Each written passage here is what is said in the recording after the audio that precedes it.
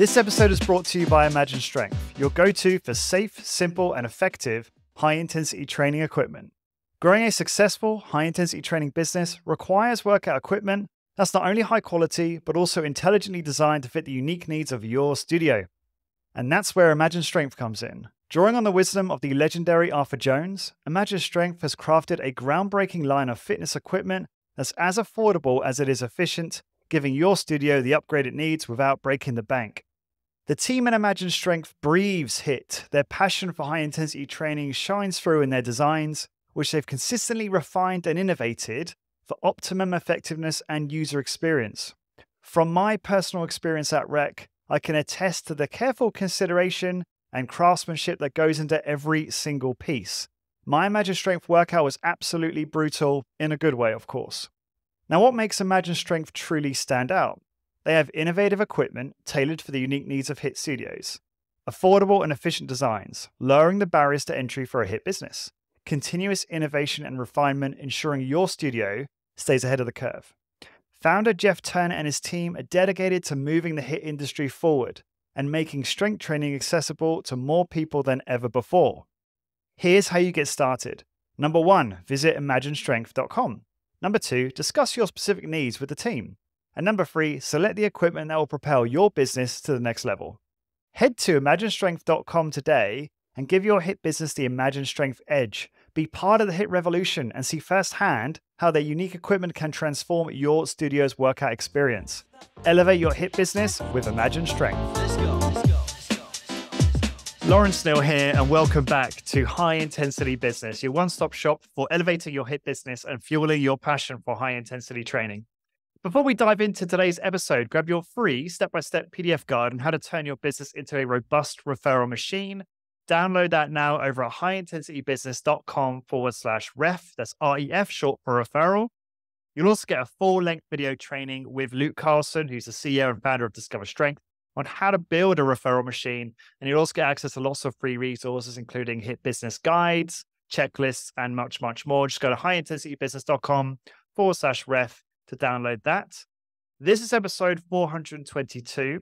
And I didn't know how else to title this, but a catch up with um, hit legend, shall we say, David Landau. David is the owner of Advanced Exercise located in Miami, Florida, which offers high tech training in all phases of the HIT Nautilus protocol. He is a highly respected HIT trainer with over 40 years of experience and rubs shoulders with many of the world's greatest exercise thinkers, bodybuilders, and old time strongmen. Over the years, Landau has amassed one of the largest exercise archive collections in the country. Um, stimulated by doing extensive personal historical research, he has written several controversial articles, and his reputation for being brash and outspoken on training and nutrition has turned him into a bit of a controversial figure in health and fitness. You can improve your HIT results with David Landau's consultations. You can contact David over on Facebook. Just search David Landau, L A N L A N D A U. Yep or email exarchives, E-X A-R-C-H-I-V-E-S at AOL.com. Those links will also be on highintensitybusiness.com, episode 422. David, great to see you. How are you doing? Always good to talk to you. Always good. Likewise. I appreciate you making the time to come on, and I'm excited to just catch up today. Um, I guess the first thing I wanted to ask you actually is you recently posted some pictures of you and Ken Hutchins hanging out. Is that was that recent? Oh, yes. Oh, yes. That's very recent. Right. and um, I always thought you guys had a bit of difference of opinion. Maybe you still do uh, in terms of speed of movement. Um, would you care to share how your relationships evolved or whether you still have differences in, uh, in opinion on those things? And I mean, obviously, we'd love to know some of the stuff that was spoken about that's related to exercise if you're willing to share.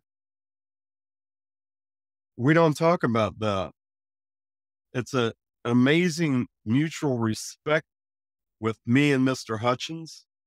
Um, recently I visited him, I believe about, it was about two months ago. And I drove up to meet him at our place, Arby's. We always meet at Arby's where we sit there for a couple hours and talk. But we basically talk about world government issues, philosophy, history, he's an amazing genius uh, to speak to. But I can tell you personally that I'm one of the very few people that he'll speak to these days, from what I know. And uh, it's always a pleasure seeing them. But we don't talk about exercise other than maybe some few people in the industry, but that's it. We talk about more important issues than that. Fair enough. And um, did you have any luck trying to convince him to come on the show? Ken, if you're listening, you have an open invite to the podcast. David, I've never been able to get Ken onto the podcast. Well, so maybe one day. Well, through me, I'll I'll try and get him to come on. Um, I'll do my best. I'll text him as soon as we're done with this interview, and um, let's see where it goes. Hopefully, he has the respect to do it.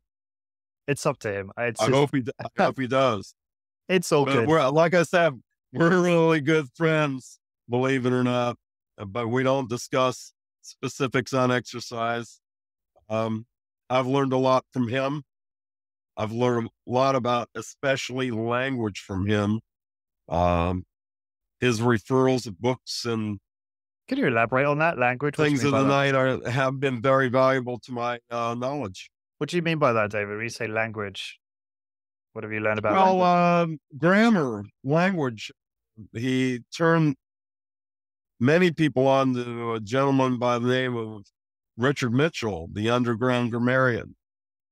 And to sum up, Richard Mich- Mitchell less than words can say, which is his first book. So I got into language, I got into word meanings, word origin meanings, many things that how the language has been bastardized and things of that nature. I see. So etymology, that kind of stuff. Interesting. Mm-hmm. Um, okay. I thought you, I guess, I guess I thought you were talking more about the language of exercise. Obviously, that's part of it. Um, and how, go ahead.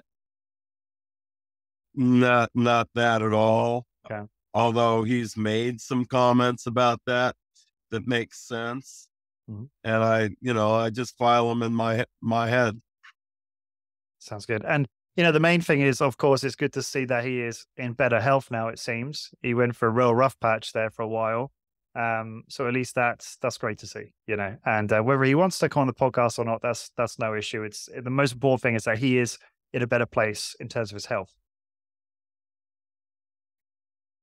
as far as I can see. Yeah. Yeah. Good. Okay.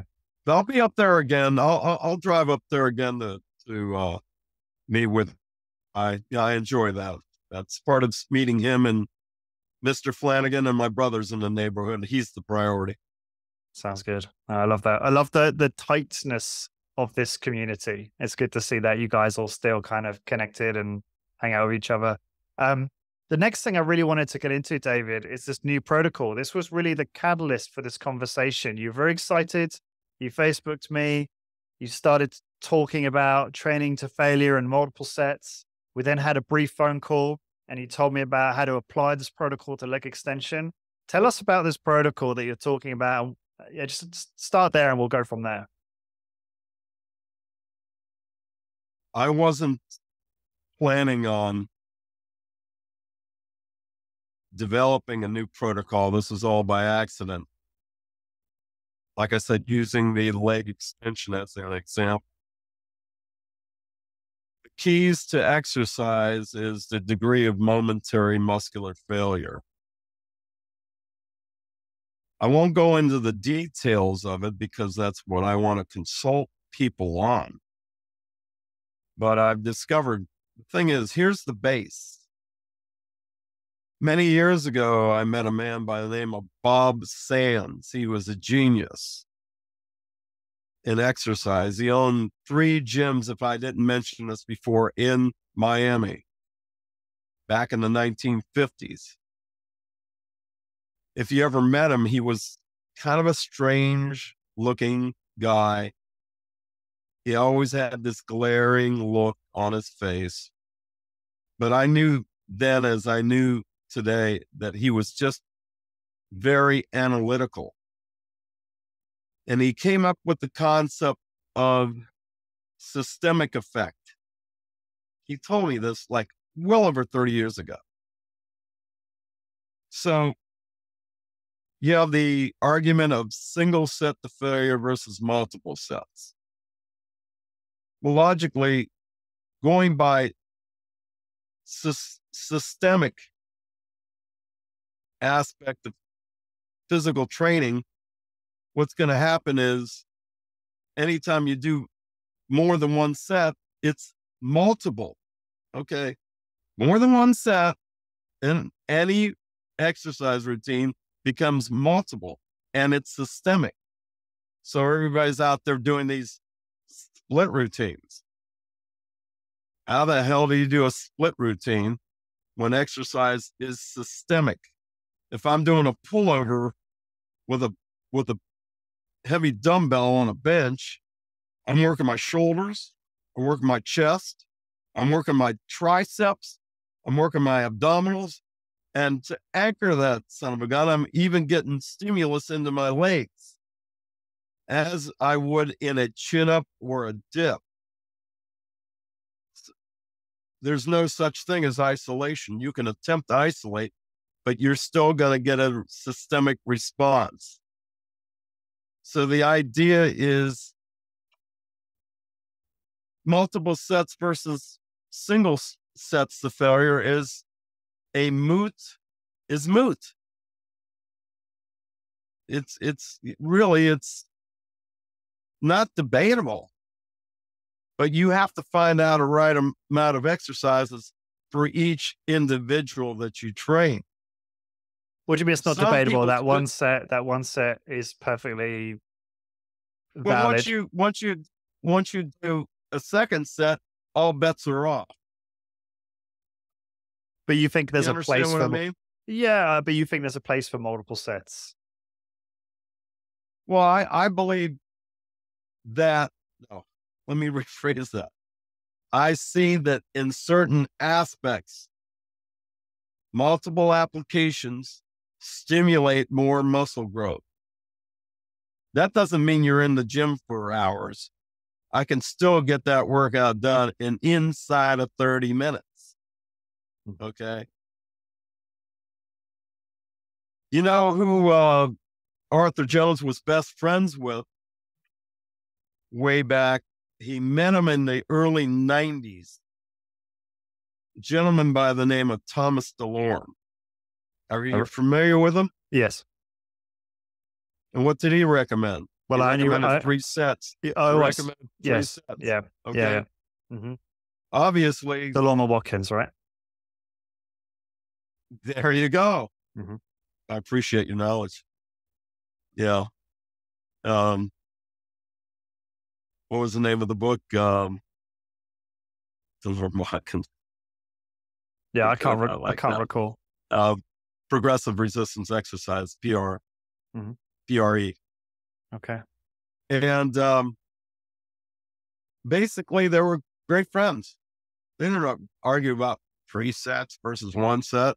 Matter of fact, DeLorme liked the one set principle. But again, let's go off into the foundation. Exercise is physical medicine, it's dosage. And you got to find out the right exact amount for each person which is next to impossible, but you can try. And when experimenting with applications of more than one in exercise, I saw better response. And let me reiterate you will not be in the gym for over an hour, not even close to an hour in most most mostly all cases. You can get the workout done inside of 30 minutes. So basically, it's a cum- cumulative effect.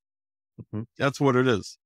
Let's let's try and give give listeners some real practical take on this because I feel like we're being very esoteric, David. We're not really getting to like something that's really going to I feel like help people, right? And we want to we want to inform people, want to educate them so that they can take this knowledge, this wisdom, and apply it to their own workouts. So if we're to going on the, the, the on, on this thread we're talking about, pulling on this thread, what does that look like in terms of uh can we talk about a workout protocol, a program? I know that I don't know if you still do this, but previously you would never have a program. You just go in and do what you felt like doing. And that seemed like a very experienced approach to training. I mean, I do that sometimes. I just go, oh, today I feel like I want to do this movement, this movement. And it's just kind of go by feel. Um, but I think beginners struggle with that lack of guidance sometimes. So maybe just give us a workout you did this week and tell me how you applied some of this new thinking to that workout. I think that's really helpful to hear that. Could you, would you be able to go into that? Sure, I can. Yeah. You don't pre plan a fist fight, you don't pre plan it. I still chart everything in my workouts. And obviously for the for the clients get charted. So basically I'll go into an exercise and I'm thinking about the muscles. I'm thinking about speed of movement, trying to direct the work towards the muscles. And sometimes, believe it or not, I use Darden's 30 30 30 on particular exercises once in a while. Because the feel on that is really good. But in some cases, I I don't think about again speed of movement. So it's like if I trained you, I'm going to give you an example. If I trained you, let's say if we start on, let's say uh, chest press. Let's say, for example, mm-hmm.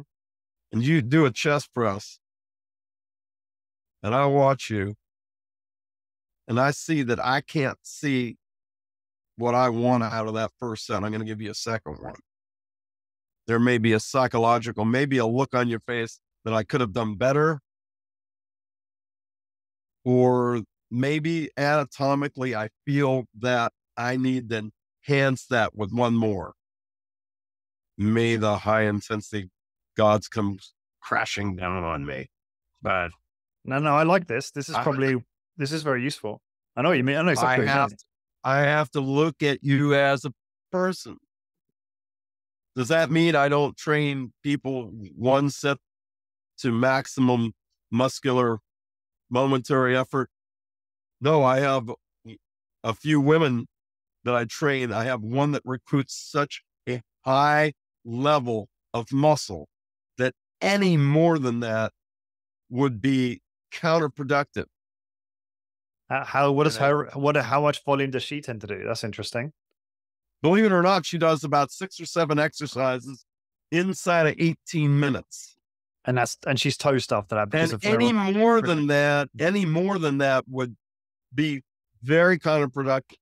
Because she wouldn't be able to recover so, from from the dosage. Wouldn't be able to recover during the day.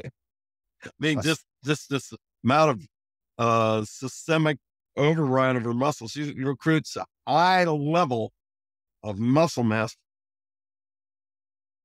And the dosage has to be specific. It's all about dosage, remember. It's not about, oh, like I'm going to do this for anything. It's dosage. Okay. And what do you mean by that dosage? Oh, just like um, you go to the pharmacy and you pick up your prescription then you find out that prescription is not doing you too well. You're having a bad after effect or whatever. You go back there and they adjust the amount. Some people can take one pill. Some people can take a quarter of a pill, or maybe people need three pills. You have to find out that in exercise if you're a concerned perfectionist about this. So let's just stop there for a second. This is interesting. I think this is a really difficult thing to figure out. So let me make, see if I understood this correctly. Damn right it is. It's very, very difficult to figure out. You're talking about so the the the uh, metaphor you, you, say there is the minimum effective dose kind of idea, the the, the medicine uh, framework for this. So in terms of exercise, we're talking about okay, what's an individual's dose of stimulus to, let's say, their bicep, for example, that they need to provide on a weekly basis or session by session basis in order to develop the muscular gains that they they have potential to produce, right? So, however, that's a that's a very complex dynamic because as we all know, there's so many factors that affect one's recovery and producing that muscle mass in terms of sleep, stress. You know, I've just been through the most stressful few years of my life, raising two young children, two and four years old. Um, and I made no attempt to really make any kind of like personal best in terms of muscle gain. I still trained as hard as I could every time I did, but I also kind of accepted the limitations and the constraints of my life at that time. And it's still hard, but I've coming out the other end of that where I'm starting to find more uh more a little bit more free time and a little bit less stress and more capacity for recovery and results. So anyway, I'm digressing a bit there, but what I'm trying to explain is there's obviously a lot of variables that we're wrestling with when trying to figure out what is the ideal dose. So David, like if someone's listening to this and they're they're they're either a passionate trainer and or they're just a trainee who wants to get big, right? Wants to put on more muscle mass. And we know there's some genetic limitation to that. But let's just say we want to like, you know, optimize that as much as we can. How do we figure out this dosage idea? How do we understand how do we get a better understanding of what is the optimal dosage for our muscles in order to produce the best results? Is what I'm trying to ask you just confidence here. You're going to come down and see me. I can, I can figure it out for you. yeah, well, everyone could come I mean, to uh, Miami, Florida. It's, it's really hard. it's really hard if you don't meet the person. You meet the, you see somebody in person. You have what, to observe. But David, person. what's the point of us doing a podcast? It's we not like a Zoom workout or anything like that. You have to see them breathing. You got to see the person themselves and analyze them and take them through a few se- sessions, which I'm always open to do. You want to fly in and come and train? I can figure out that for you. Yeah, but David, it, what's the what's the point? What's the point in us doing the podcast if we can't help people with this, right? Like in lieu well, of that, what can we basically, say? you know, if okay, whenever one set the failure means because it presents itself differently across the board as I've told you before, I've trained people in one set the so-called failure, whatever failure means, because again, it has a different meaning for each each person. In other words, it represents itself differently across the board. Again, being redundant. I used to have trainees that literally would be my shadow after I trained them to failure on the, the next exercise. I would have trainees that literally would lay on the floor after one set. Uh, it's so, and that should bring up red flags. If you're laying on the floor after workout, you're killing yourself. Your body's trying to tell you something. So take a step back. We'll, we'll go and forget about that so called metabolic conditioning workout. It only makes you better at that particular workout. It's more or less conditions you to be better in the gym, but not outside the gym. Yeah. I, I wish I was wrong, but I'm not wrong. What I'm saying is, and I'm going to tell for the trainees, do not rush to the next exercise. Give yourself a chance to recover momentarily enough for you know physiologically and psychologically you're ready for that next set but do not race from machine to machine unless that's in the business model itself. Metabolic, so-called metabolic conditioning, as you you've been interviewing people talking about that, it doesn't make you any better. It makes you better at doing that so-called metabolic conditioning workout. Better at that effect. You got to yeah. remember one thing about that. I'm going to go into detail if you want me to. Well, let's let's. Um, I appreciate you giving me the the opportunity to jump in because we talked about rush factor, which some people call this by a lot in our previous podcast, David. So I wouldn't like to spend too much time here. I'm more interested in talking about this protocol, right? The protocol that you talked to me about leg extension. I understand that there has that you obviously want people to, to to consult people so you can individualize it, but maybe we can just individualize it to me on this podcast since I'm obviously sharing your knowledge with so many people. All right. So do you think we could do that? So we could talk about how you would in, individualize this protocol for me and do the best we can do on a podcast. How's that sound? That's fine. Yeah. So what will what I'll say is uh, that again, what I told you before, which is the secret training protocol that I developed by accident. I'm excited. That's a great headline right there. That that should be the title of the podcast. I was messing around on a leg extension. That's exactly where I was. You can do it on a bicep. You can do it on any machine that allows you for independent movement arms. Okay. And that it's a matter of putting that, that together. And let me just tell you the responses to that training. The one guy you saw in the video on Facebook, and he wanted me to tell you this. He said he's never, ever experienced a pump in his legs. Okay. And you might say, or the people out there, oh, what's what's a pump mean? I could get pumped by doing lots of repetition. This is meaningful. This is meaningful because this is a guy that's trained for 40 years Nautilus principles. And when I put him on this system, he ha- he gets such a pump in his legs that it was something he's never gotten in 40 years. And that that's got to tell you something. Believe it or not, when I got under, I also experienced the same feeling. Not beating yourself up on one set, trying to like I told you before, like Bill Pearl, and people are going to be angry with us, but I don't care. You said to me once, Dave, it's not necessarily see how far you can stick that ice pick into your eye.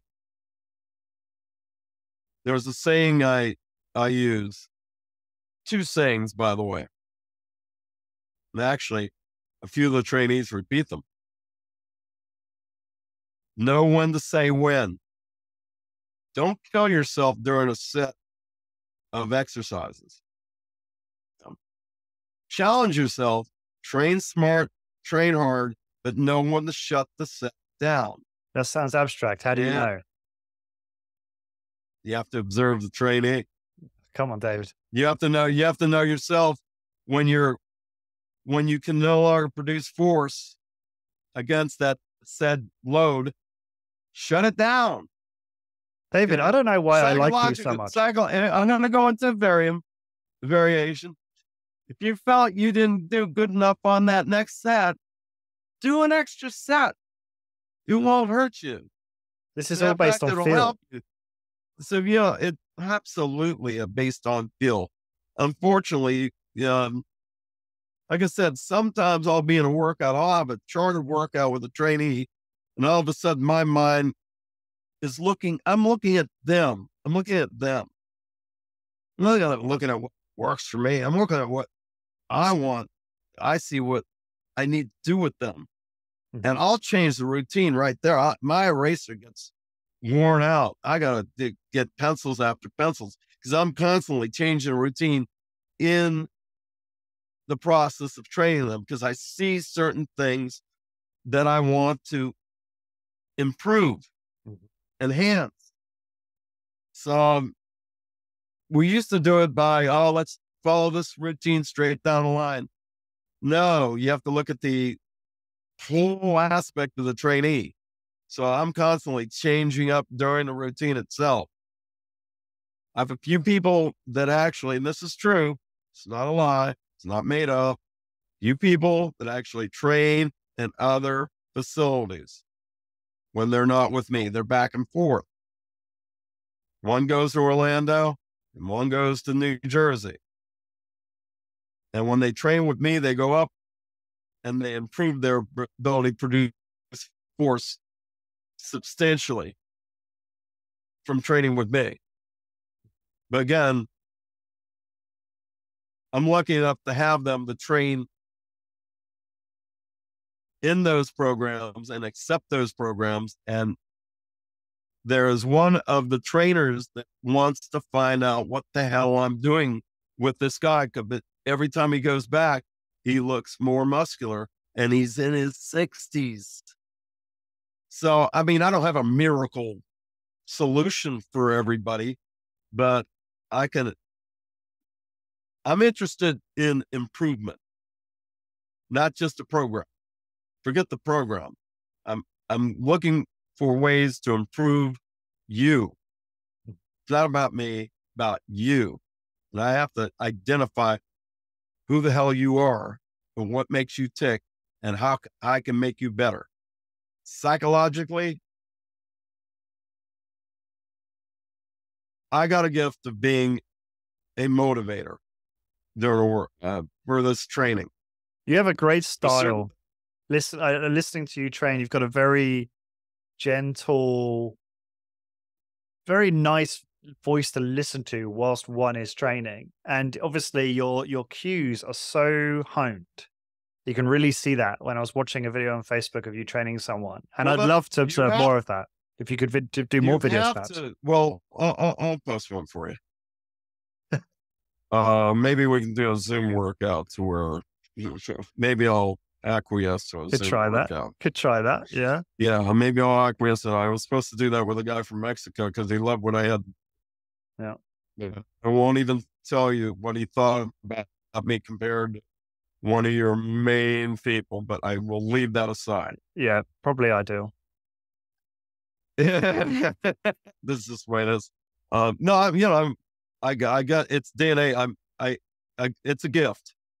Uh, but it's concern. It's concern over wh- how I can improve somebody. Well, how his... I can improve somebody. I, how is it? What, what makes you, you, I have to look at you from head to toe to see what the hell's going on in order to make that routine successful. It's not based on what I, I think, it's based on what you think. The instruction is only good when you're good.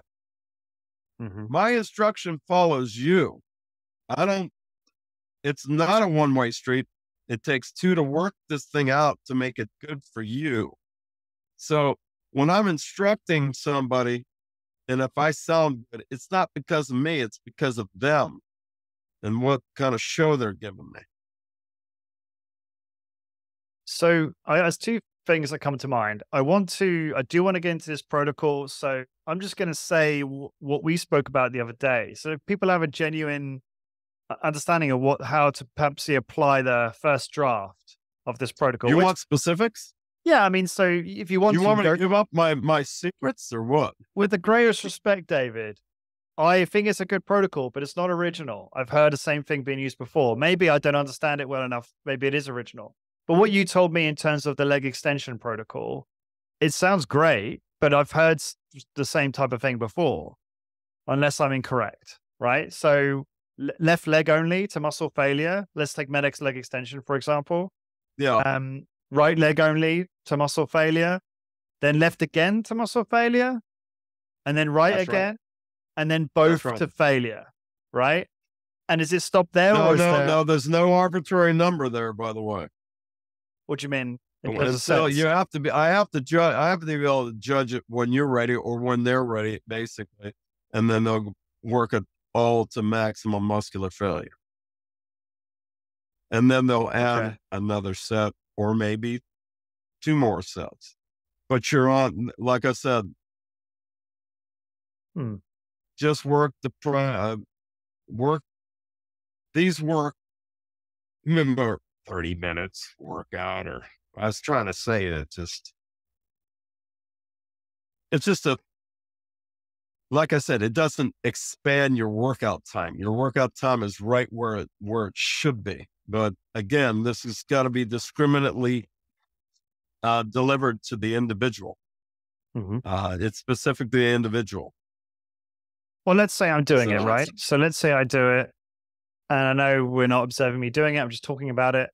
But let's say I go to true muscular failure. I mean, if we kind of can we not just predefine what that is? It's just I can't remember the exact definition as a lot of people. The inability to produce force in that particular moment, right? Okay, to finish the movement. Yeah, fine. So let's say that happens. I do that with my left leg. I do it with my right leg. I do it with both legs. What would I would feel that's quite a bit of that, like that at that point you've recruited the full spectrum muscle fiber. I don't feel like you need to do any more beyond that. assuming you got a muscle failure on all of those those reps. No. Let's take failure and throw it out and say muscular success. Okay. I like success over failure. now that's going to upset a lot of people, but you don't need to caveat that. can't- Just, just yeah. you know, I like to train to succeed, not to fail. That makes sense to you. It does. Yeah, failure is a negative word. So we're just Mr. talking about we're just talking about objectives. We're Mr. just- Flanagan would not like to hear that, but his routines aren't that much different than mine. Yeah, He'll watch this. He'll watch this probably. I'm, I'm sure he's a big fan of you. So, um, so so well, let's just we- we're just using the word failure because we're just trying to define our terms, aren't we? We're not really trying to worry about how people We're, we're that. trying to use a term that's very familiar with just the, uh, objective, yeah, watch this. right. When we say what muscular failure means, people in our industry know what we're talking about, don't they? Um, so so if you're if you've done that, right? So that's basically taken my my both my quadriceps to failure basically three times. Well, why would one need to do any more than that? I feel like that's sufficient volume at least for one workout. It may be. It may be for you. I, I have to judge in the moment. Uh, How would you judge that at the again, moment? it's That's what I a, it's it's, it's really judgment goal. You could say, like I said, you could basically see anatomically and and- and psychologically when they're spent, get them the hell off the machine and move them to the next one. That's all. okay. You have to see. Uh, it's it, it's it's not a one size fits all. Nor should any other program be. I hear about these programs. Oh, we're getting results. They're getting stronger. At what? The program itself? Are they getting stronger? Oh, but oh, they're doing these things now. Psychologically, that goes into play. Oh, they're doing things they never done before because you instilled, or maybe indirectly instilled confidence in them. Oh, therefore I lift a lot of weights at the gym. I can do this. Mhm. Ain't bad, but doesn't mean anything unless you're really stronger. Uh, you know, able able to uh, do things more efficiently. But most of it's psychological. Physiological is the key.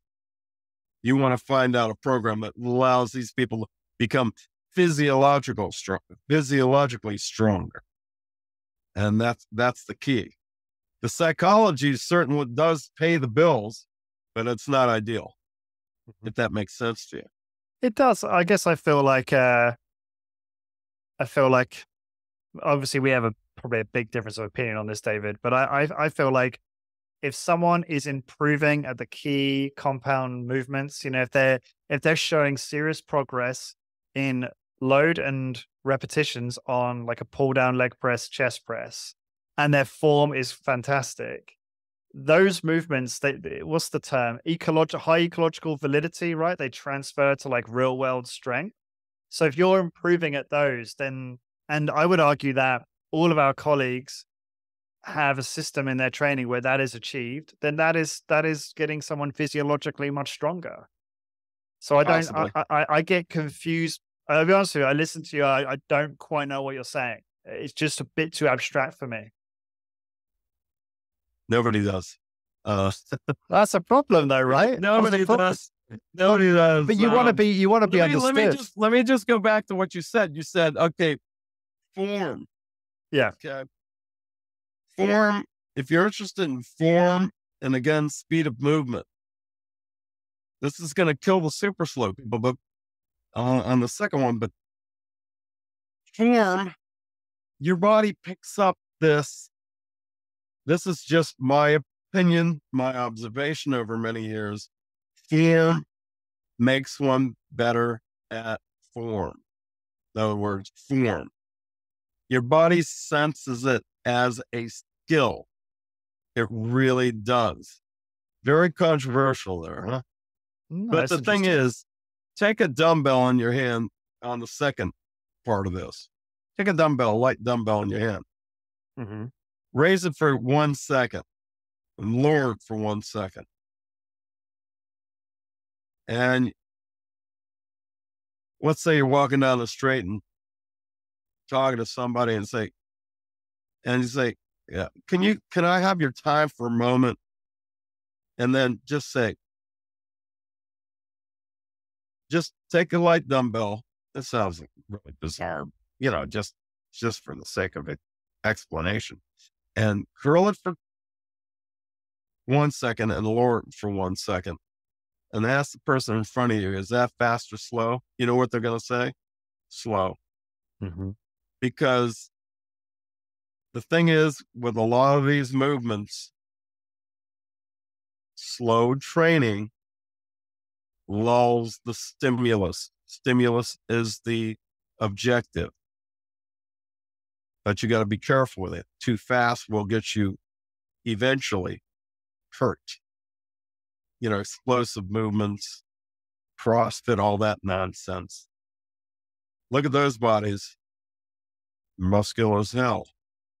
But the thing is, they're injured as hell too. Mhm. So, speed of movement should not, again, I've told you before, should not be pre planned. But going at a 1 1 pace, and if you told that to a super slow person, they would scream at you. They would say, You don't know what you're talking about, whatever. But really, in essence, you'll never get hurt with that. You can't get hurt.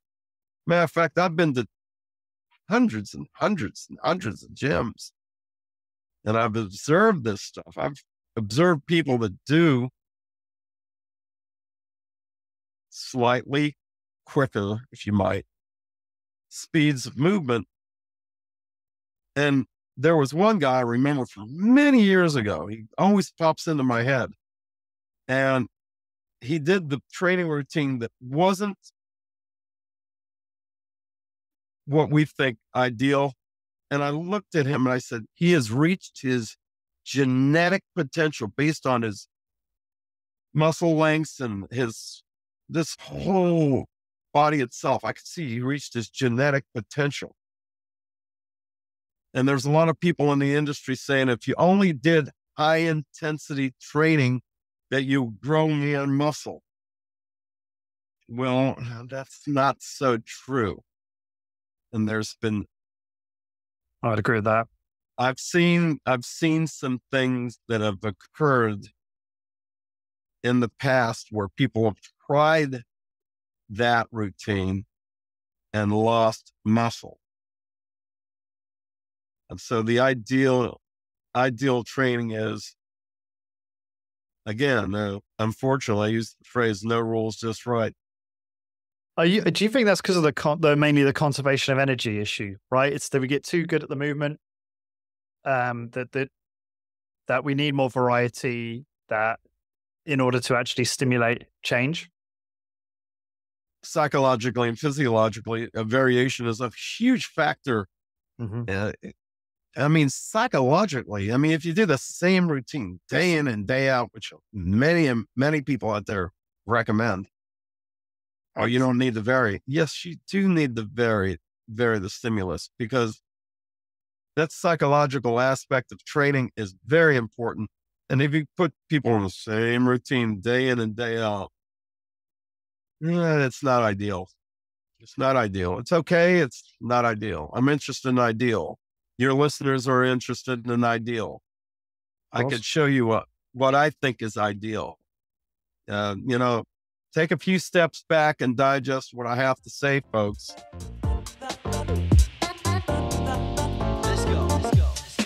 Today's episode is brought to you by Imagine Strength, your one stop solution for safe, simple, and effective high intensity training equipment.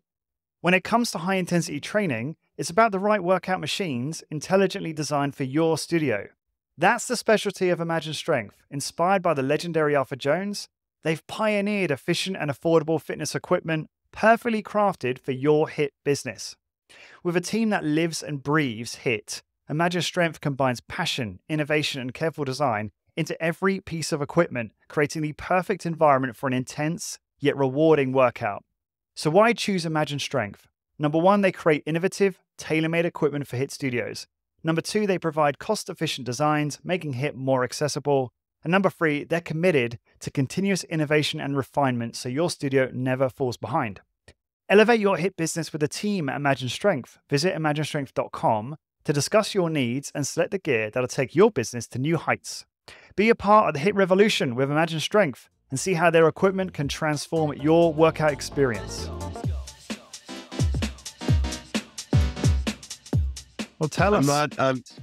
What's ideal, David. Just so, what's tell that? us more. Tell us more. Like, well, tell us more. Like, what is ideal? How do we understand? How do we individualize ideal? Ideal is based on the individual. I have to, you know, you have to have experienced uh, practitioner figure out what's ideal. What's ideal for you? You can't. I can't just throw one across the board. I feel like I we're going around in you and circles. say, you know point. what, you know what, and there's things I could do with you and your training that can Oh, I'm sure. Oh, I'm sure. Uh, I, I mean, it's, but it'll be based on, it's based on some observations, some of the training videos. But listen, you're doing just fine. Thanks, David. I like better. I'm Yeah. interested in better.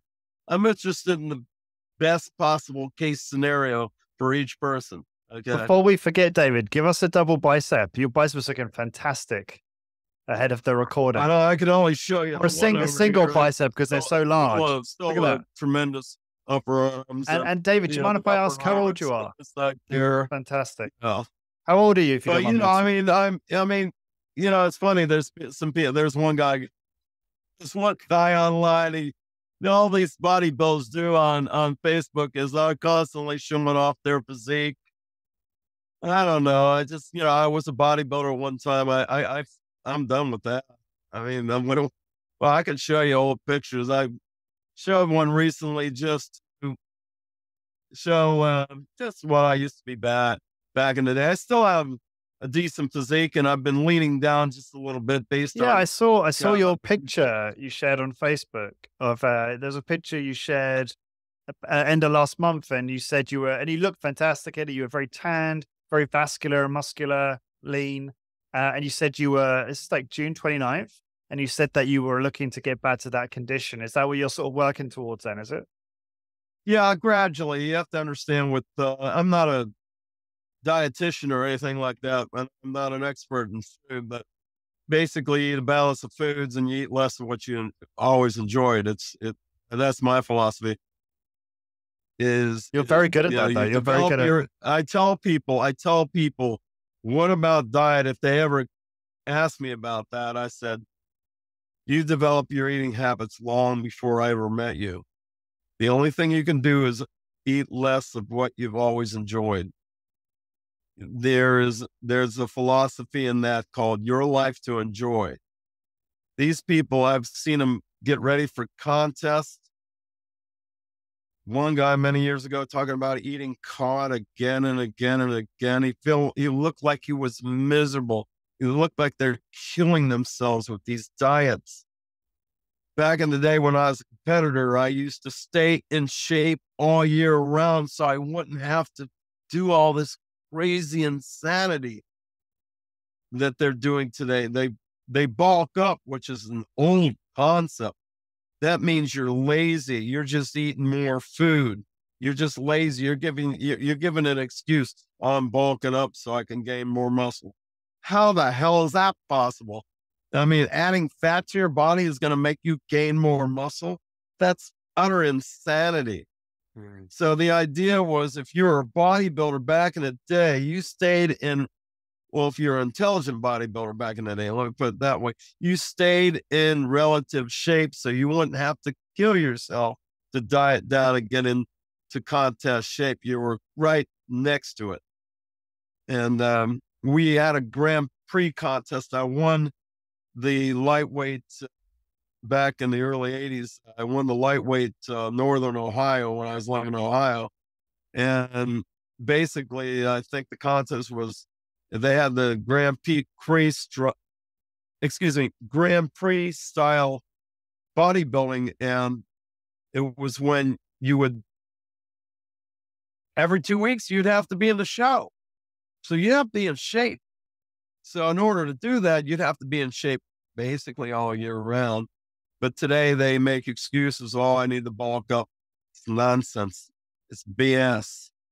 So you put on a lot of yeah. What I'm doing right, what I'm doing right now is reducing my foods, eating a little less, a lot less sugar than normal, and um, you know, it'll the chips will fall where they fall.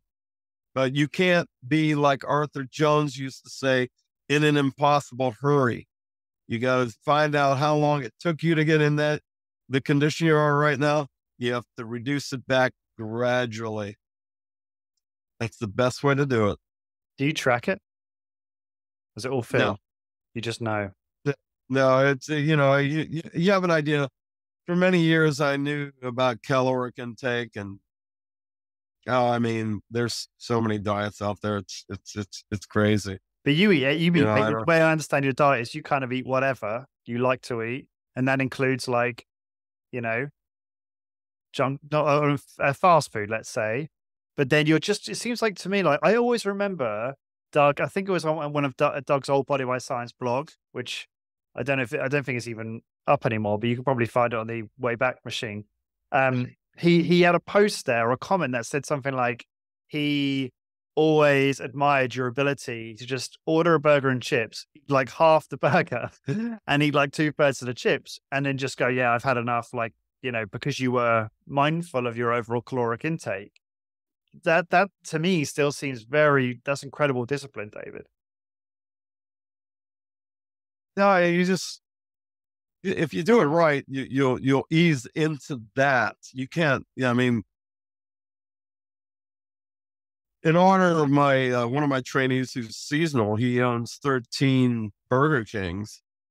So I've been eating Burger King lately uh, for some reason. It's fast. Fast food only means it was just you get the damn thing quicker. That's what I but, but, for. Tell me efficiency of the service. T- tell me you're hungry, you want to eat. How do you do you it? Like, how do you? How you? What is it that makes you? Uh, is it because of, is it a vanity thing? Is it because you're, and I, I mean that in complimentary way, like you're so driven to have a good physique or to be a good example? I know it's obviously a, a motivator might be the fact that it's your profession as well. So what is it that enables you to do this so much success consistently versus others? I have a decent genetics and and I have discipline when it's needed. Uh, Where does that come from? Pain, my father. What was your father? What did he do? My father was. Uh, I got his genetics. He was. Uh, was a sales guy. He used to get up in the morning. He used to get up in the morning and do, you know, like push-ups. And, and we had a gym in the middle of the living room uh, back in those days. And uh, I always tease people. I said, "Man, he'd be in there working out, we could smell his body odor. That would wake us up in the morning. yeah, he was a physical. He was a physical fitness guy. So I basically, yeah, it rubbed off.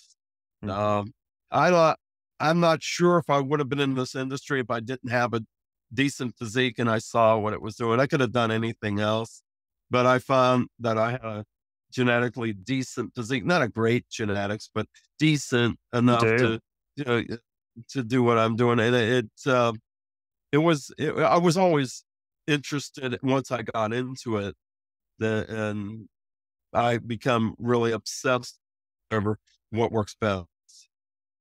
So if I've heard that right, do you think you were more motivated than the average because you could see the potential in your physique? You know, you've, you've been obviously you're in incredible condition many times in your past. The pictures are all on Facebook for everyone to see. So is it is it for you? Is it I know I can achieve this great physique, therefore it motivates me to abstain with my diet and to be disciplined about it. So part of what's happening. Oh, is- it just it it it it. I mean, it was there in the DNA. I mean, it just, you know, I, my brother said, "Oh, you're looking a little bit blah blah blah." My brother and I said, uh, "Not to go into what he's doing right now." as far as diet. I can't say that. But I said, I told him, uh, I'll do my thing if you uh, add a few more vegetables. I just gave it up. add a bunch of vegetables and fruit to your diet. There, you weren't going to do that. So, what I said is, I'm going to gradually uh, take it down. And Oh, is he um, calling you it's fat? just it's it, it it's just almost like an alarm goes off in my head. Okay, you had too much fun already. Time to get down. Interesting. Simple as that. It, it's almost like a it, it's almost like a seasonal thing to where okay, you've had enough fun. All right, time to ease down and get into some better shape. Yeah.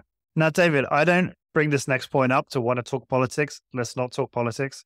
I yeah, rather not go there. But you like your politics. You like to have a good rant on social media about your the current affairs, right? Your personal opinion. Does that not does those types of things get you stressed out? Kind of where I'm going with this is there, is there events that happen in your life that stress you out, piss you off, which then might cause to you to derail you, right? To lead you to overeat. I've, for instance, the way that manifests for me is young kids can be very stressful, right? um, sleep deprivation, for example, made it difficult for me to be as disciplined in my eating over the last few years as I would have liked to be. Now, I, like you, have quite favorable genetics where even if I put on weight, I still don't seem to look like I put on that much weight because of the way I store body fat. And maybe it's my metabolism and other things. Um, but yeah, I'm just curious. Do you not get stressed out by events? As politics was the first thing that came to mind. That then causes you to, you know, fall off the wagon, so to speak, and overeat. Or, or how do you manage that? Love to hear more about that. Does doesn't doesn't have anything to Doesn't do with bother it. you. No, it doesn't. No doesn't- What bothers, obviously, you get angry with the current state of affairs. Obviously, you do, uh, but it doesn't cause me to eat more or less. Doesn't change that at all. You just look at it and and, and discuss. Uh, it's not. And I again, I'm not getting into po- politics, but I will tell you, Careful. it's not. It's not ignorance. It's pure stupidity having done the bio, biographical research and historical research on this as well. Um, again, I told you before, there's nothing new under the sun. Mhm. Um, and I, I do it out of selfishness. I'm interested in raw knowledge. I'm interested in the truth. Selfishness, selfishness merely means that I have a great deal of self interest. That's all that means. And I'm interested in that information. I'm interested in it. And uh, the way I go about understanding things is not the culture today, is what happened yesterday. Mhm. That that I that, but it doesn't bother me. I don't need any more or less. Yeah. I'm just Uh, focused in on on on that stuff. Course, I'm. Of course, you get angry. Of course, you get frustrated. Of course, you. uh But you know, I had conversation with people to where I don't argue with them. I just get them to understand what I've discovered, and it actually has turned them. If they're, they say to me, "God, you're intelligent," I said, "Well, I don't know about that." And I said, one one guy said, "Man, I, I'm surprised you spoke to that guy like that. You're so like calm and even keel." Well, I was just explaining to him what is and what you see. See, remember, television is not the news on television should only be one thing to you. They may do some research that are derivatives that you're unaware of, but you must have a foundation. Television, by and large, should be only one thing entertainment. Absolutely. Let's park the that stuff there for a second, or indefinitely, David. but uh, it's it's interesting all the same. Um, I want to make sure we get through some of the submitted questions, if that's okay, by uh by a couple couple people on Facebook. By the way, Yep. Mark Houghton, is that his name? That's the guy. Mark Houghton? yeah, Mark. He's been on the show before. That Yep. guy's awesome. That guy, that, I, I've had a conversation with him. He's He, good. I, I, like I said, he knows he's going to get a steak dinner once he comes to the States. He's, He's going to get the best I can buy him, man. He's, He's in, awesome. He well, I don't know what he's like right now, but he's been in absolutely phenomenal shape for his age. Um, Mhm. and and uh, he's still a young man, Mark. I don't mean to be disrespectful, uh, but Yeah, he he was a great guest on the show quite a while back now. Um, so let's start with I think this was from Mark. Where do hit trainers and athletes typically go wrong when trying to build muscle, David? Again, we're going to go back to dosage, trying to find the right amount of dosage for each particular athlete or individual. Um, building muscle is a fine line. You got to be careful with that because remember one thing there's a lot of cost when you're carrying that muscle onto the field. But remember one thing about that. Ideally, what I said is there's a fine line. But however, there's an even playing field out there, so to speak.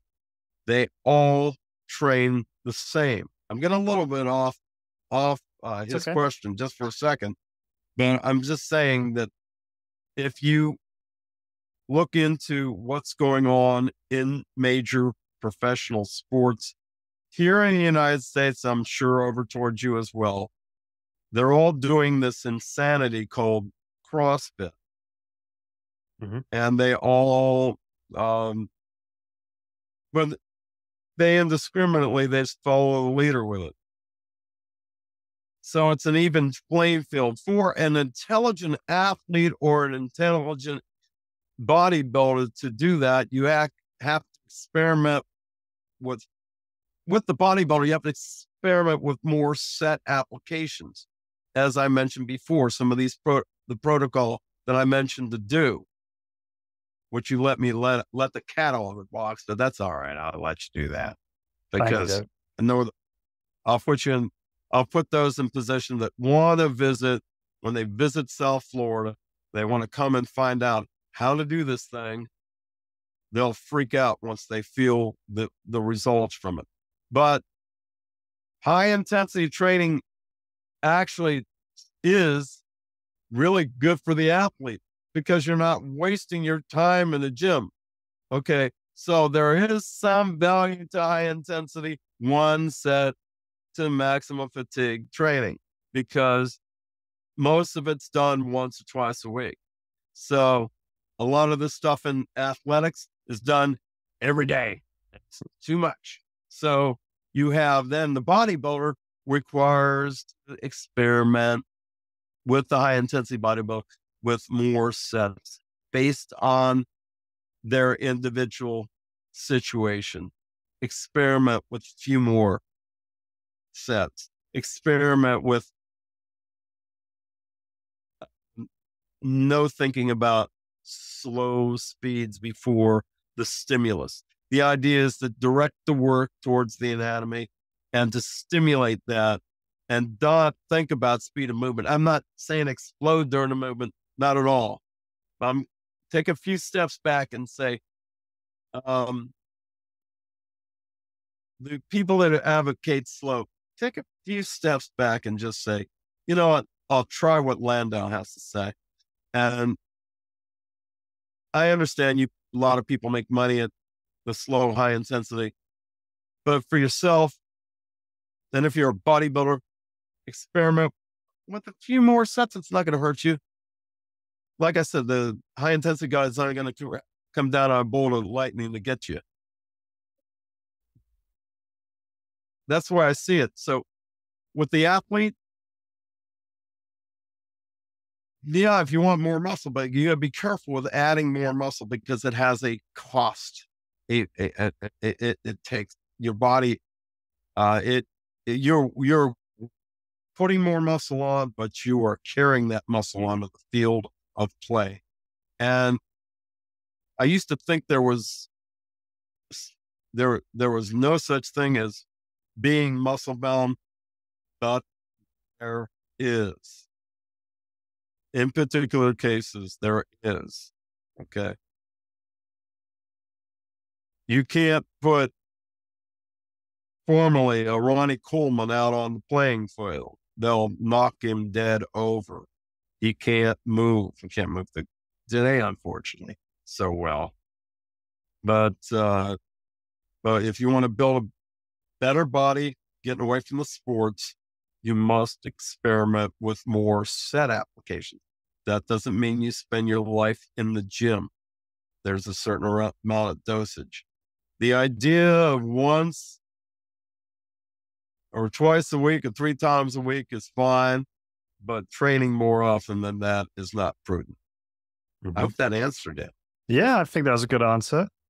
Um, let's get on to the next question. So, kind of a more of a, well, say beginner question. I'm sure this the answer to this would be interesting to everyone. How much do we warm up before doing a big five? You know the big five routine, right? Absolutely. How You much don't you warm up up? at all. You don't, not, not at all. Okay. Walk the gym. Why is that? Your ability to produce force in each exercise is rather high, obviously. Okay, you're fresh. It falls all under the realm almost of specificity. The action taken during the first few repetitions of an exercise gets you ready t- towards the end of the exercise itself. You know how people say, well, get get on it, stretch. Stretching is counterproductive.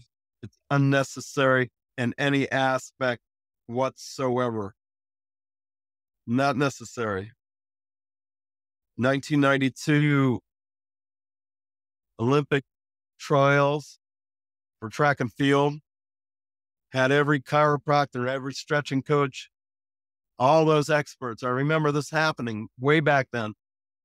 And many of them pulled up lame, injured, being prepared for their sport. Yeah. So a lot of the stuff in the in the late 1960s, not when they won the championship Super Bowl, but New York Jets, they were, may have been around 1970. They hired a stretching coach. See, that was the end thing back then, the early 70s, was stretching codes.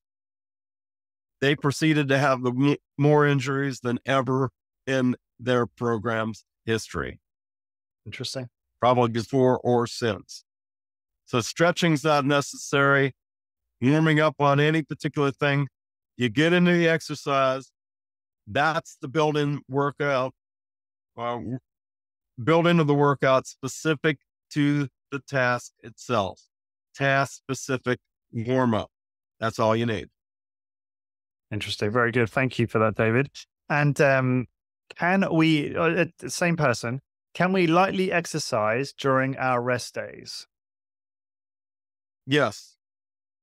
Because you're not impacting your body's so called recovery. Recovery is a crapshoot. It is very difficult to figure for each person. But light exercise, basically, that's just physical activity of any particular type will not impact that. Love it. Succinct. And um, there was a question about Arthur Jones, and I kind of elaborated on it a little bit. I'd love to hear what's your last memory of hanging out with Arthur? When he was well, I suppose. Well, I only caught up to him around 2000. So he's had seven year, more years after that to live. I love the story. I, we I went over there to visit him by myself. I can't t- go into detail on some things he told me because Sure. they're too much for this. But we sat around. There was a book um, written by a guy, uh, Shizmansky, and at the time, oh, let me go here one second. That's okay. You're fine. Um, let me get this back. Hold on a second. Se- Here, second. Oh, second. Anyways,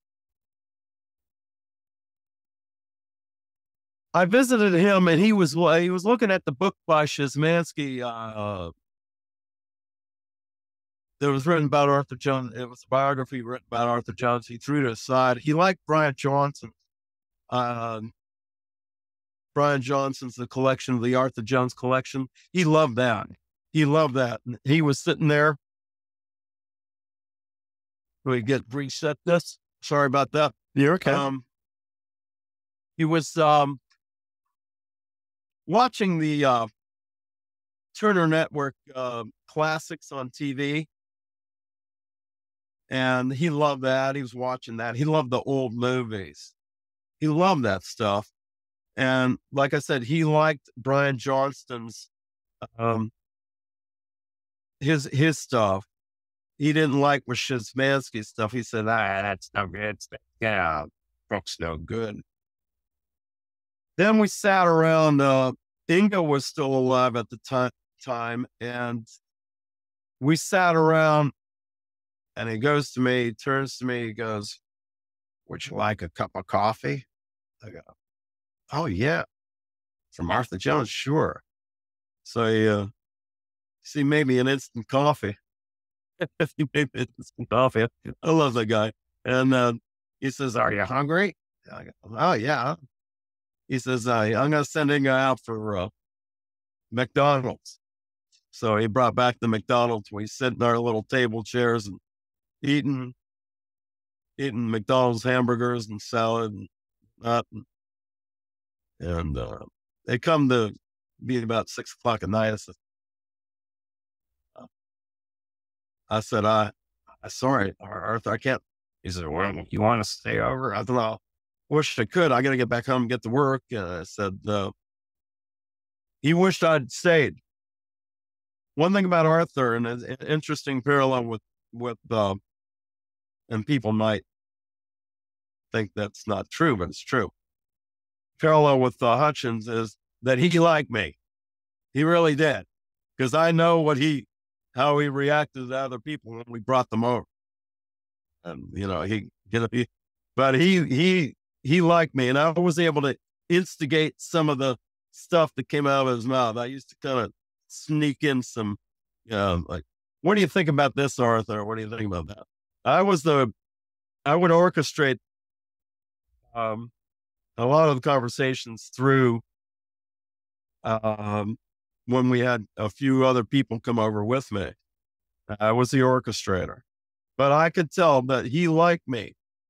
But that wasn't unusual because I could tell you something with my own father year before he died. I had a West Point tape in there with Arthur speaking in the car as I drove with my father. And when we shut the car off, my dad said, Oh, that guy's great. I love that guy. And I said, I guess it's, you know, it runs in relativity.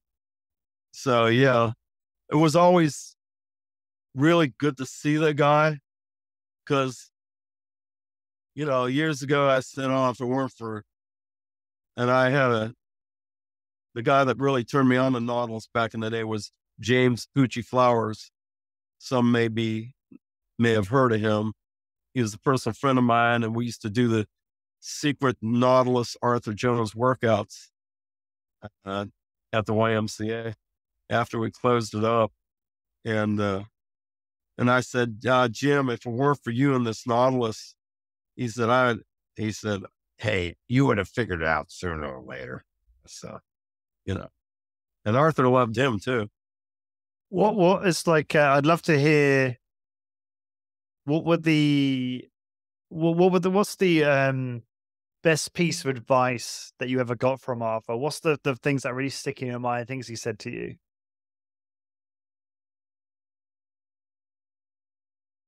Don't believe me because I said it or anybody else said it. Apply it to your mind. In other words, been correct. Arthur gave you Arthur gave you a platform to stand on. Okay. And he said, by the way, don't believe me because I said it. All the great speakers and thinkers will tell you that. I always say, don't believe me, just apply it to your mind. Take a step back. I'm not right about anything. And if you say I'm wrong and you prove I'm wrong, I'll be the first one in line to tell you I was wrong. I'll be the first one. So that that whole saying there, basically, that's what I use. Mm-hmm. If anything in this conversation that you think I'm wrong about and you can prove I'm wrong about it, I'll be the first one in line to tell you I was wrong. Fair enough, David. Um, so one thing I wanted to get back to is, um, you know, obviously we're talking about training ourselves, training clients, how that's difficult to give advice on unless you're really there, watching the training taking place and then giving advice in real time and really shaping it to the individual. I thought a better alternative then might be to talk about a trainee you have, keep them anonymous if you will, but maybe we could talk about their last workout and you could give us what a workout kind of looks like with you. I know it's different every time, I get it, but just to see or describe one person's workout set by set, rep by rep, would be an interesting insight into what it's like to train with you for those who are never going to get the chance to go to Miami and train with you. All right. So is that something okay, we could do? I'll, I'll, I'll, give you one. I'll give you one. Yeah, yeah I, I, want I want each. I'll, I'll give you one on, uh, on the on on John's workout. Let's do it. John's been around a long time, so he knows what to do. All I do is place John in a possess, better position to receive better benefit from training, and he has. He has.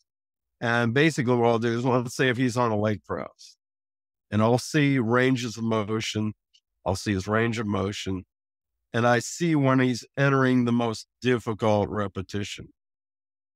I might freeze him at three quarters of the way or two thirds of the way back towards lockout. Uh, and I might say, move it down about an inch and hold it right there. And he'll, and I said, while you're there, walk yourself up down into the seat, or else even before that, you can slide up on the seat if it's uncomfortable in the positioning itself. I, I adjust that as well. I give them free range. Conforming yourself to a seat is may not be anatomically right. You might move your move yourself up a little bit just to comfort some particular areas, the lumbar and buttocks. But I'll find a spot for him. I just hold isometrically.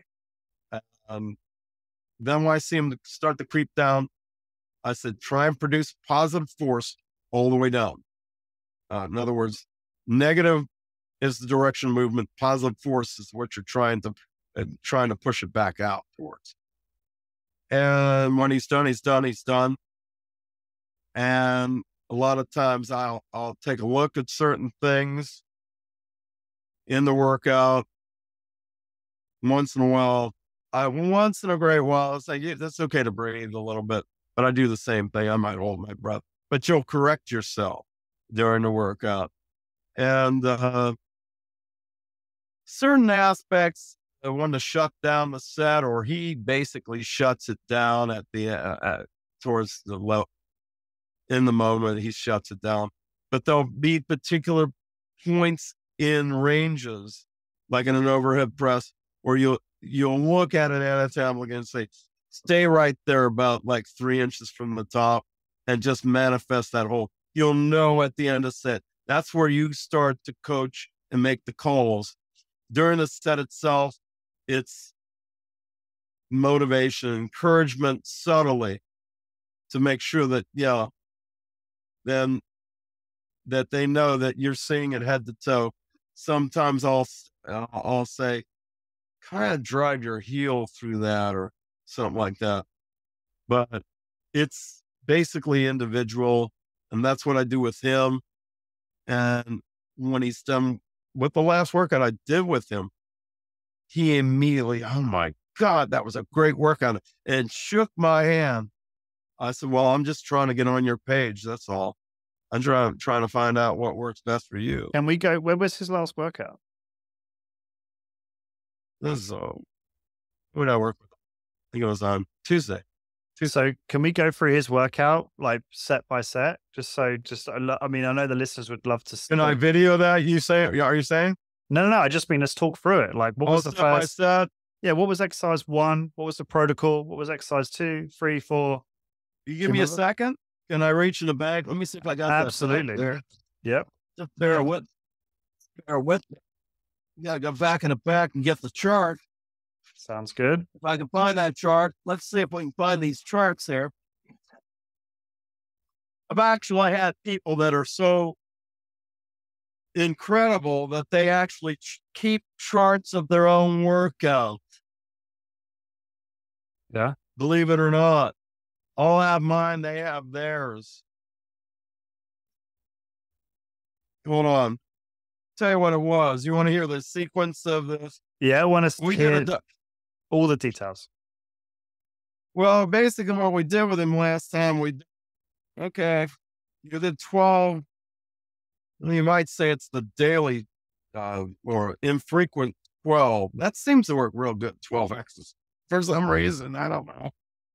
It seems to be at there. At at least him, he's at the end of this. eh, eh. No, the last set is always called last call for alcohol. By the way, yeah, this is it. This is the last one. So I use that phrase. I use these phraseologies. Okay. What, what, press. what, what- what- before you get into it, that's a great phrase. I usually say to people, this is it. So milk it for all it's worth. I say stuff like that. I'd love to hear what else you say. What are some of your other phrases you might use during the workout to like connect with people or motivate people? Well, like I said, uh, you know, uh, no rules, just right. No one to say when. Um, let it all hang out and then get more. Or I'll say Arthur Jones once said, if you think you're done with the last rep, try and get one more after that. Uh, something to that effect. But I'll say that uh, with his workout. Yeah. You know, I can't think of some of the things I say. I just au- automatically, it, it is basically, it's like, remember the phrase caller driven talk radio? Uh, I don't, Ever don't hear remember that before? No, I've not had that before. listen, they they drive the instruction. Okay. The trainee drives my instruction. I'm not, Oh, I see. you know, they drive what I have to say. Well, of course. Okay. Yeah, because you're not, tailoring. It, it, it's not pre-planned. It's not, I don't have no idea. It's, they drive it. So if I've got leg press, leg press, uh, descended, two sets. Leg extension Hang on. with the So protocol leg- leg- alternating. leg, pr- hang on, leg press. Say that again. Leg press, two sets. two two sets. Now I have an alternating leg extension afterwards. Mhm. Now, why did I do that? I don't know because I'm I'm I'm out of my mind. I saw his legs needed needed some quadricep and today and, instead of hamstring emphasis. Then I uh, did um, two uh, actually three descending sets. These are heavy duty multi uh, joint movements that eventually uh, you know like just suffice everything. So I did three applications on the chest press. Then I went to a dumbbell well, well, pull-up. hold it, hold it there, hold it there. So leg press, two sets. Then you did leg extension, alternating single leg. Is it That's it. One, Uh, actually two, two sets? actually two. Yeah, Okay. And then what was next? Three applications of the chest chest press descending. What does that mean? Oh, descending like breakdown, like drop sets. Yeah, well, not in a row, but you know, give him a little bit to catch Okay. his composure. Kind of like a, re- a a drop set with a pause in between. Yeah. Mhm. Got it. Okay. Yeah. Then we, uh, then because I, you, when you walk in a gym, then when you got a guy like that walks in a gym, I, I, I really didn't have anything planned. I, I'm thinking, I'm looking at him and go, let me just do this, and as it goes on, I'll do this. Mhm. Um, dumbbell pullover, three applications. Um, I'll tell you something after this. Matter of fact, I projected something for his next workout. Uh, I may stick with that. Uh, and then uh, finished up with overhead press two sets. So that's a dozen exercises, a cumulative stimulus. Okay. Mm-hmm. Because if you go through the same one set or every every same day, same thing, body senses that, picks it up as a grind, as I say. So I, at what was I going to say at the end? I, I was at the end of his workout, you could see he was he was done. He that's it. That's all he had, and that's why we call it last. I said it's last call for alcohol. yeah.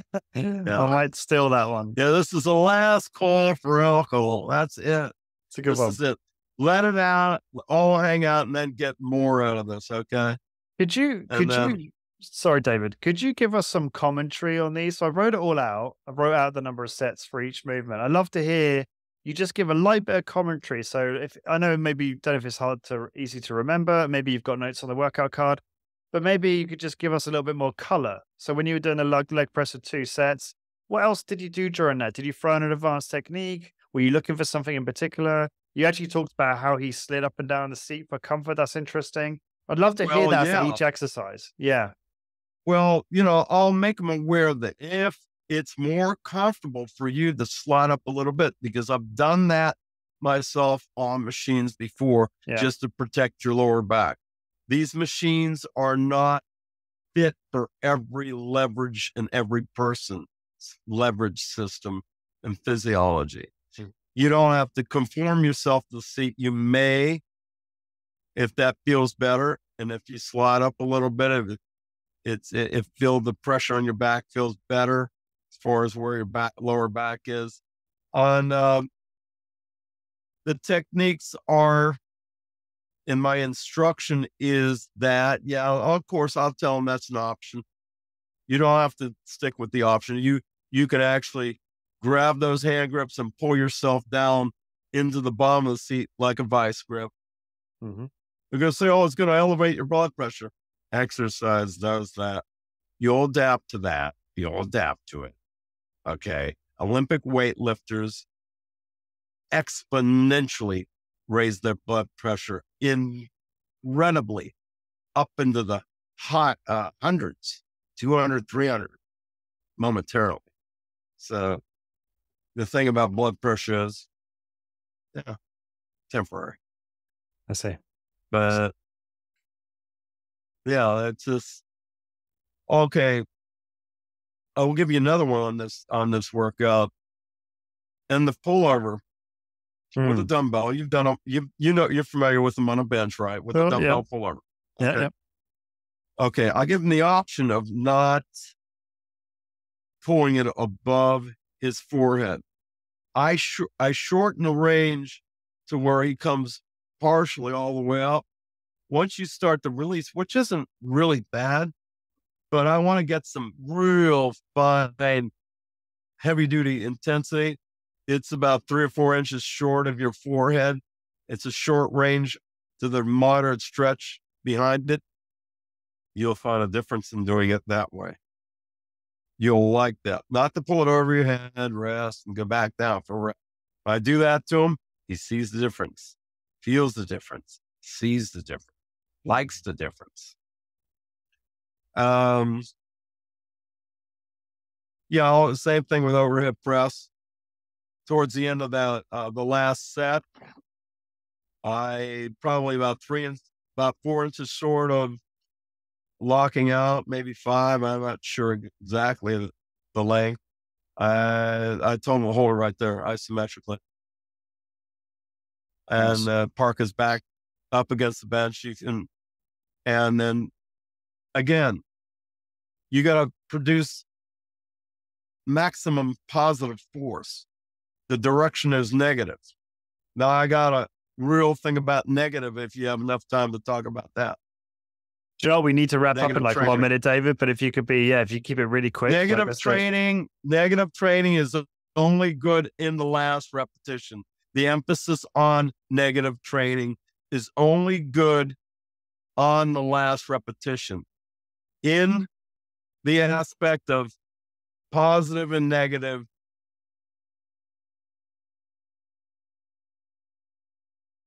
get out of that negative if it doesn't feel like it's doing anything. Get the hell out of that negative phase of action unless you're loaded up to the gills. Get out of the negative phase. It's a lull in the action. It's a lull in the stimulus. Place more emphasis on your positive than your negative, believe it or not. Sounds good. I don't just necessarily disagree with that. Um, David, this has been great fun catching up as always. Some real nuggets of wisdom dropped in along the way. I feel like sometimes I can ask you a question. It might not get answered very directly, but you'll end up saying something that's really valuable anyway. So I appreciate that. And this has been quite a bit of fun. I actually quite enjoyed our little uh, argument, shall we say. Um, There's no argument here. Oh, well, You no. I- agree with everything. You agree with everything I have to say. There's no Oh, argument. uh, you're absolutely right, David. I Yeah. agree with 100% of what you said today. that is a few things. you know, but- everybody agrees with me. I mean, listen, listen, listen. All I'm boring interested in is providing the. I'm interested in is providing the best workout. I never thought about this when I was younger. I- In the industry for so many years, I said, you know what? Let's find out what works for that individual. The key is the individual, not the group, not the fancy routines. We're doing this today. We're doing boot camp. We're doing whatever. No, I want the individual to improve. Okay. And Yeah. that's what it's all about. Individualism. And I can tell you, as someone like yourself who talks to our colleagues all the time, I feel like almost everyone completely agrees with that, to be honest. Um, there's might be a few businesses I can think of that are very cookie cutter where maybe it's less of that. Uh, but I think the vast majority actually agree with that idea. Um, and with that said, David, for people who want to find out more about you and learn about your consultation services, that kind of thing, they can go to your Facebook. So just search David Landau on Facebook or email you exarchives at AOL.com. And for everyone listening, please subscribe to your on your favorite podcast app. It takes like 10 seconds and really helps this podcast grow, helps more people learn about HIT and uh, see David's enormous biceps uh, and also build a HIT business. Uh, why do you shake your head? Are you not not not so not? Or? I just laugh about it. That's all.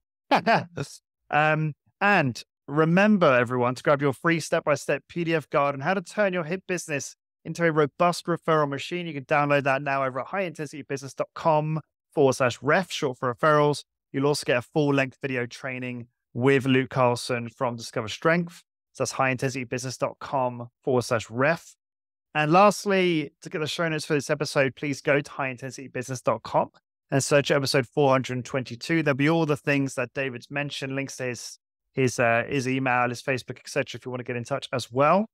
And until next time, thank you very much for listening. And David, thanks so much for taking the time. Really appreciate it. You got it, man. All right. This episode is brought to you by Imagine Strength, your go to for safe, simple, and effective high intensity training equipment. Growing a successful high intensity training business requires workout equipment that's not only high quality, but also intelligently designed to fit the unique needs of your studio. And that's where Imagine Strength comes in. Drawing on the wisdom of the legendary Arthur Jones, Imagine Strength has crafted a groundbreaking line of fitness equipment that's as affordable as it is efficient, giving your studio the upgrade it needs without breaking the bank. The team at Imagine Strength breathes HIT. Their passion for high intensity training shines through in their designs, which they've consistently refined and innovated for optimum effectiveness and user experience. From my personal experience at Rec, I can attest to the careful consideration and craftsmanship that goes into every single piece. My Imagine Strength workout was absolutely brutal, in a good way, of course. Now, what makes Imagine Strength truly stand out? They have innovative equipment tailored for the unique needs of HIT studios, affordable and efficient designs, lowering the barriers to entry for a HIT business, continuous innovation and refinement, ensuring your studio stays ahead of the curve. Founder Jeff Turner and his team are dedicated to moving the HIT industry forward and making strength training accessible to more people than ever before. Here's how you get started. Number one, visit imaginestrength.com. Number two, discuss your specific needs with the team. And number three, select the equipment that will propel your business to the next level. Head to imaginestrength.com today and give your HIT business the Imagine Strength edge. Be part of the HIT revolution and see firsthand how their unique equipment can transform your studio's workout experience. Elevate your HIT business with Imagine Strength.